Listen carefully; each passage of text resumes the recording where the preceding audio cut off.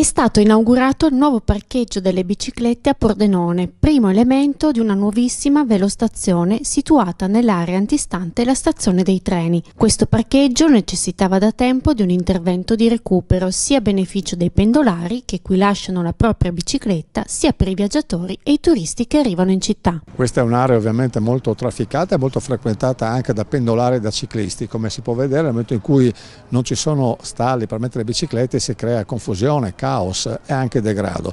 L'obiettivo è quello di creare una velostazione, quindi un'area attrezzata per chi utilizza la bicicletta e la vuole lasciare in un luogo sicuro e anche coperto. Contestualmente proprio quella casetta servirà poi per ospitare entro la fine dell'anno un progetto di bike sharing, quindi per garantire anche un servizio aggiuntivo, così come con GSM stiamo studiando anche un servizio per il deposito bagagli per coloro i quali magari devono attendere il treno. Inoltre il grande progetto prevede anche, è già stato fatto l'acquisizione del rudere che è alle nostre spalle, il quale completerà nel corso degli anni, non possiamo fare tutto in pochi mesi, creando un ulteriore spazio al servizio delle biciclette per lasciarle in luoghi coperti e anche assistiti. Insomma, un po' alla volta dare non solo decoro ma anche funzionalità a un luogo così importante come quello della stazione. Un luogo fondamentale per eh, incentivare quella che è l'intermodalità e la mobilità dolce.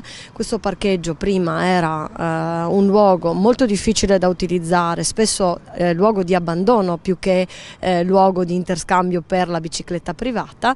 In più eh, abbiamo allestito anche delle postazioni, abbiamo comprato ulteriori 15 biciclette per garantire il bike sharing all'interno del contesto cittadino. Eh, il lavoro ha avuto una gestazione lunga perché il finanziamento si è eh, attardato ad arrivare, noi abbiamo presentato la domanda nel 2018 per eh, il finanziamento da parte del Ministero dell'Ambiente per questo intervento, i fondi sono arrivati decisamente dopo e poi con il periodo del Covid chiaramente alcuni materiali hanno fatto un po' di fatica ad arrivare. Ad ogni buon conto comunque siamo qua e oggi lo inauguriamo.